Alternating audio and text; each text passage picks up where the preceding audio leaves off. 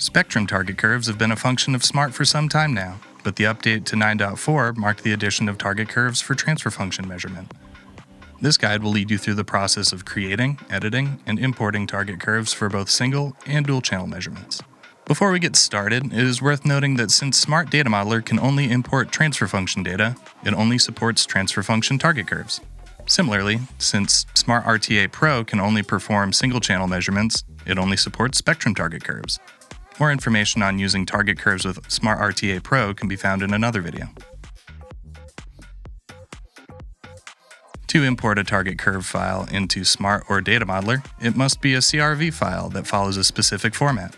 Spectrum and transfer function target curves each have different formatting guidelines, which will be explained here. Spectrum target curves are formatted with four heading lines and two columns of data in frequency level format, separated by a tab character. Line sets the line thickness of the target curve using values 1 through 5, it can also be set from Smaart's Target Curves menu, which is accessible by using this hotkey or through the Options menu. Color is, as you might expect, the color of the target curve in hex format. A target curve's color can be changed from within the Target Curves menu. The show line determines whether the target curve will be shown by default.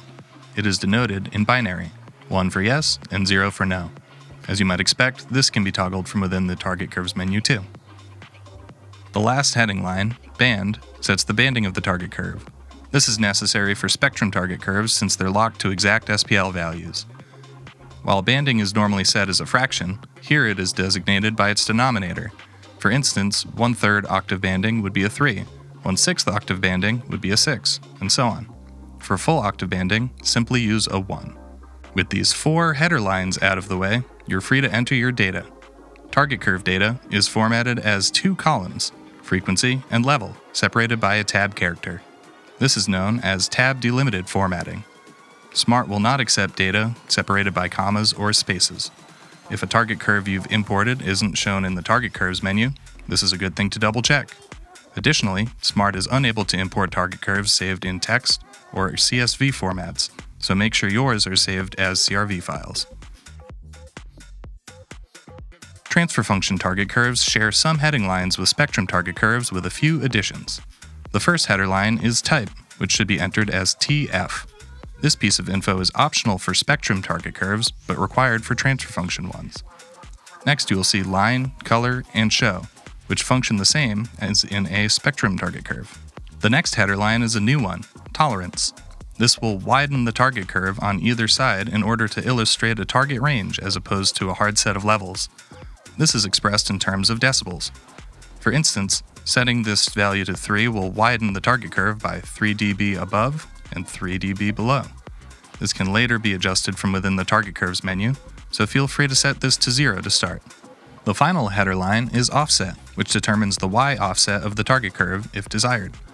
This is normalized to 1 kHz. Like with tolerance, you can set this to 0 and change it later. All transfer function data is expressed in two columns, frequency and magnitude. These are also separated by a tab. Note that this does not include a column for phase data. Transfer function target curves should also be saved in the CRV file format. You can create a target curve from a captured trace as well. Prior to 9.5, this was a rather tedious process. To do this now, however, simply right-click a trace in the data bar and select Save as Target Curve. After naming your new target curve and clicking OK, it will be immediately viewable from within the Target Curves menu.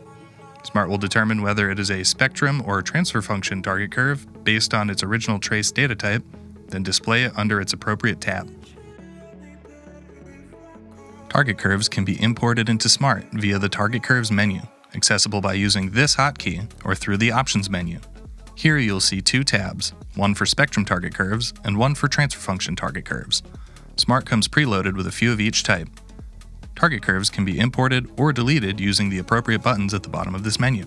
Once clicked, Import opens your operating system's file explorer, allowing you to search for the target curve file you'd like to import. Smaart will automatically sort a target curve under its appropriate tab upon import. If you do this and cannot see your imported target curve under either tab, it might be worth opening the file in a text editor and double checking its formatting using the guidelines explained earlier. In this menu, you can also edit the show, color, size, offset, and name of target curves once imported. Checking Show next to a target curve will enable it to be shown. To show target curves, focus the appropriate plot and either press the X key or click Show Target Curves under the View dropdown. Note that spectrum target curves will not appear if no banding is selected on the plot. If your measurement level is low, you may have to move the plot upwards with the up arrow key in order to see your target curves. That just about covers the processes surrounding target curves. If you encounter any issues or have further questions surrounding target curves, either submit a ticket to rationalacoustics.com/support or reach out to support at rationalacoustics.com and we'd be happy to assist.